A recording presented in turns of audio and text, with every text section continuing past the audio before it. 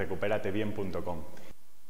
Le pediremos al paciente una buena control postural, corregiremos su zona lumbar, su zona dorsal y la máxima tracción posible, que eleve un brazo, que eleve el otro, que separe el cuello lo máximo posible y que rote un poquito hacia adentro los hombros. Y le pediremos que separe y junte las escápulas.